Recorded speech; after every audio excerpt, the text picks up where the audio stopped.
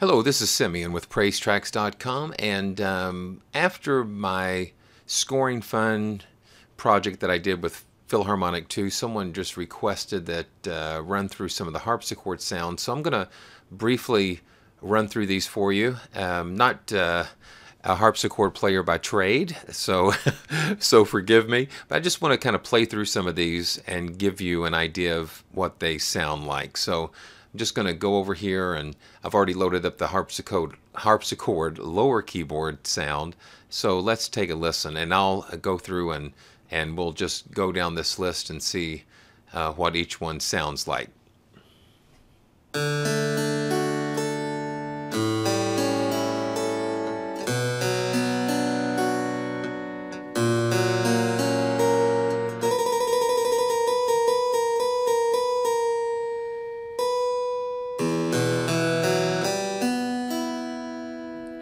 Okay, that's kind of nice. And so let's go to the upper keyboard. We're going to load it just right in the same slot here, just for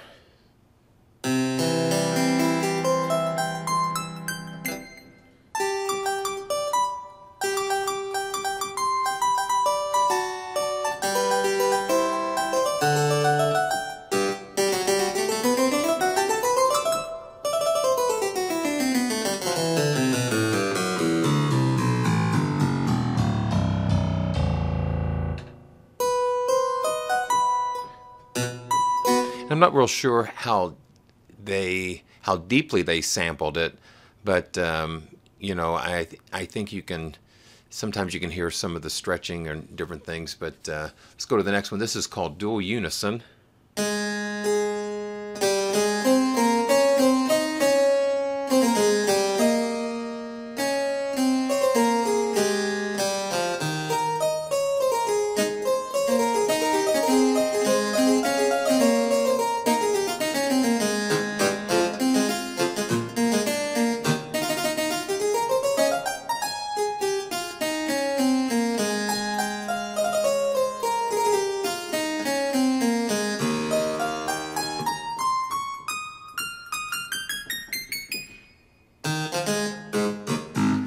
Okay, that's interesting. You know, sound always inspires me. Uh, when I hear a sound, kind of pulls things out. And I'm not a classically trained musician by trade, but it's just what you hear, um, what you listen to over the years, and just what uh, kind of comes out. Um, watching a lot of classic movies, or you know what I'm saying.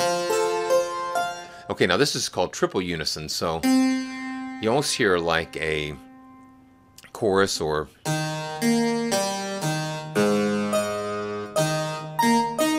So it just kind of adds like a fat, fatter sound.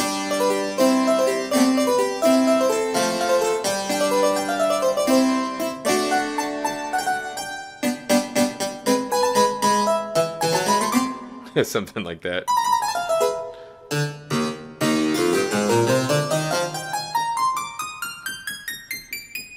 And when you get to the extremes, of course, you're going to hear different artifacts. But that's pretty, that's pretty thick.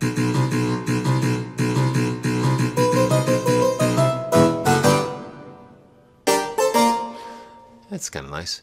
Uh, two octaves, harpsichord two octave patch here.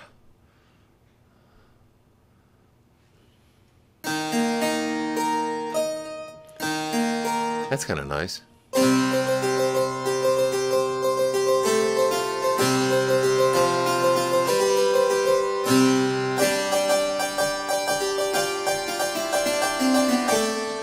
Yeah, that's kind of cool. Uh, actually got to see um, a performance by Mannheim Steamroller uh, the day before Thanksgiving, and so they had a full electric harpsichord uh, on stage, and that was an interesting experience for sure. So I'm having some flashbacks with that. Uh, this is the, what they call the Harp C clav, so let's see what that sounds like.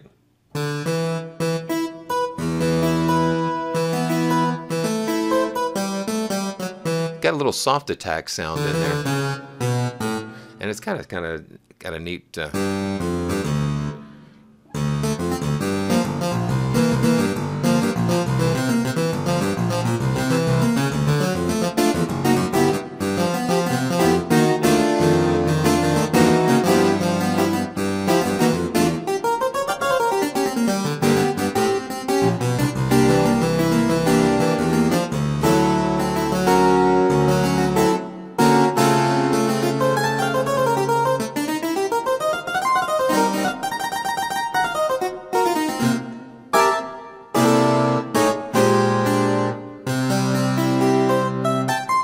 that's kind of fun.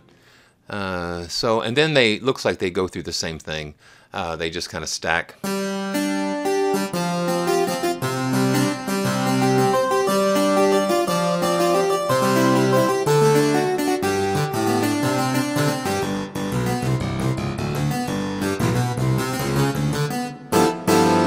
Yeah, they kind of stack it. Uh, double unison. Looks like they've added a pad here, so let's take a listen.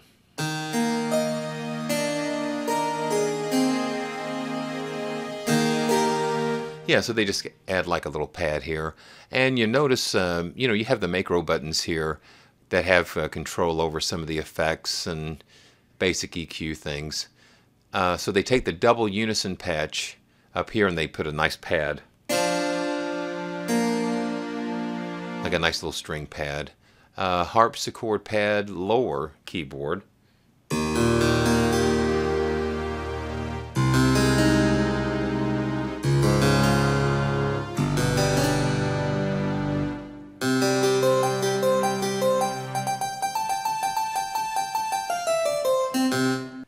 And lastly, we're going to take a look at the Harpsy pad two octaves. And um, basically, this, is, this has taken the Harpsy chord two octaves and uh, adding the pad to it. So let's take a listen. And you have an adjustment here on the macro control. And it sounds like a just like a fat synth pad type of sound, but it just adds a little bit of depth, a little bit of bottom, kind of fills some things in. I like the way the that low end has that that nice little, that, I, I guess it like a twang or just that really nice. Uh,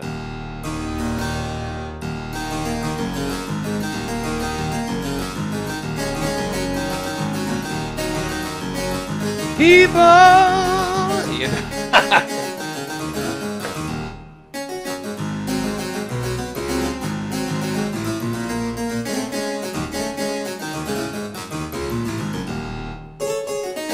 I apologize, Stevie, but you know, uh, sometimes the sound.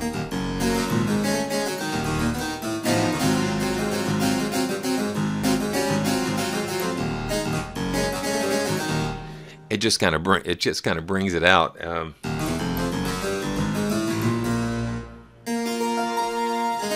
there you got the full range there, and um, and I couldn't couldn't let you guys go without uh, giving you a little sample of. of uh,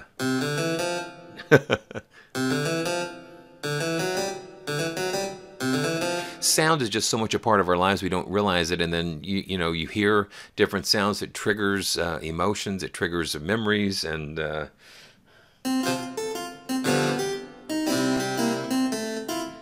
I mean growing up you know you hear a harpsichord that's immediately what you even before you knew about uh, Beethoven and Mozart you knew about the Addams family and the harpsichord you know uh, so uh, that's a little fun. So I hope you guys enjoyed um, uh, just taking a, a, listen to some of the uh, classical harpsichord patches in IK Multimedia's Philharmonik 2. And again, this is Simeon with PraiseTracks.com. And just appreciate all your feedback. And if you have any further questions or would like to hear um, hear more, uh, just let me know, and uh, I'll see what I can do. Uh, have a great day, and we'll see you soon.